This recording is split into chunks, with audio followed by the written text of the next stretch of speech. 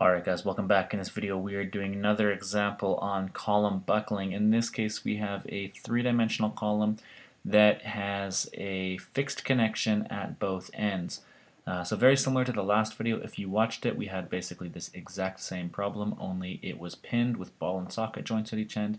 This time we're talking about fixed ends and that's going to change our effective length that we're dealing with. Now if you remember from a couple videos ago, we had uh, been talking about this stuff, our different situations where we had like pin pin, fixed end, and free end, a fixed end with a pin end, and a fixed end with a fixed end.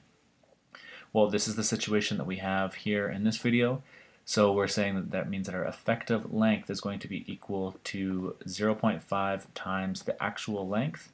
Um, and so in this case, our actual length is 3 meters, and so our effective length uh, maybe let's not draw an equal sign, let's draw an arrow. So we have our effective length is going to be equal to 0.5 L, so that's 1.5 meters. Alright, and that is coming directly from that last, not that last video, but a couple videos ago where we talked about that. Okay, so when we start talking about this for buckling, um, is this column can, as a rectangular column, it can buckle in two different directions or planes basically. It can buckle in the YZ plane, basically going out that way or coming this way. And it can buckle in the XZ plane, so basically kind of going into the page like that or out of the page like this. So we need to check uh, what the critical load is for each uh, possible direction it can buckle in. And then from there we can use a factor of safety to determine the allowable load and then after we'll also check to make sure that this thing, to see if it's yielding before it's buckling or whatever. Alright, so the formula that we need to use, uh, just like the last couple of videos, was uh, P is equal to P crit is, uh, is equal to pi squared EI over L E squared, right? The effective length squared. So in this case, we do need to identify the moment of inertia that we're going to be using in each direction. So for buckling in the YZ plane, just like the last video, we need to find the moment of inertia about the y-axis. And then for buckling in the XZ plane, so this way, we need to find the moment of inertia about the x-axis. And we did calculate those in the last video, so I'll just write them right here. And then we want to use each of these when we calculate for buckling in each of the planes. So let's take a look at buckling in the YZ plane first. So we want to figure out what the P critical is in order for that buckling to happen. So then we're going to have to use the subscript here for I, Y, moment of inertia about the Y axis when we're dealing with buckling going like that. All right, so when we, we have all of these values, we have the effective length, we have the moment of inertia, we have E, we have pi, obviously. Um, so we're going to find that the P critical in the YZ direction is 23.4 kilonewtons. And now we want to repeat the process to find uh, the critical load for buckling in the XZ axis. So let's throw in some subscripts here.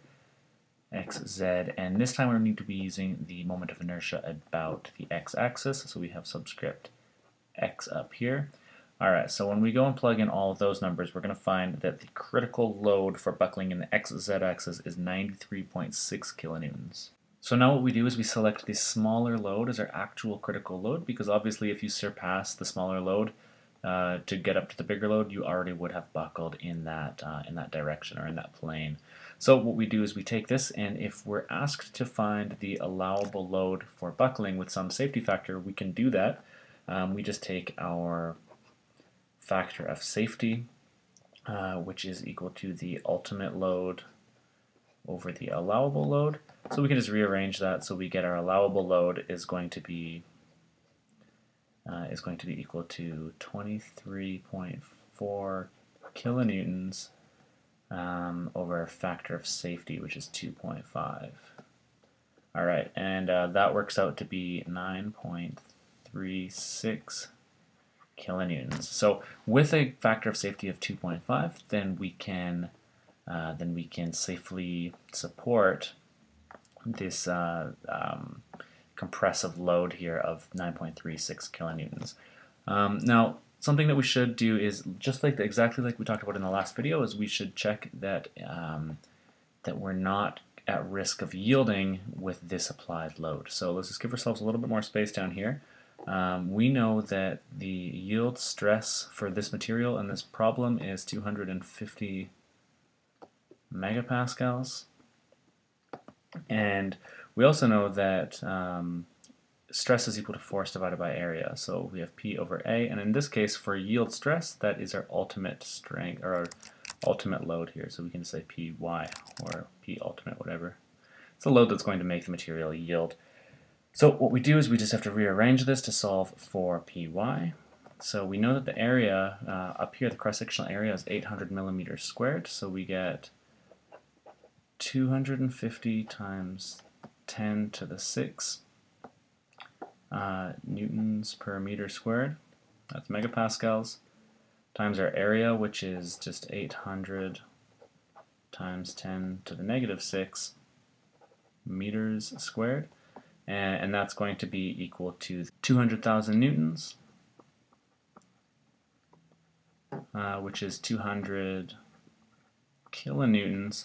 And uh, basically, this material when we look at this, this material yields will yield when we apply uh, 200 kilonewtons to this exact column.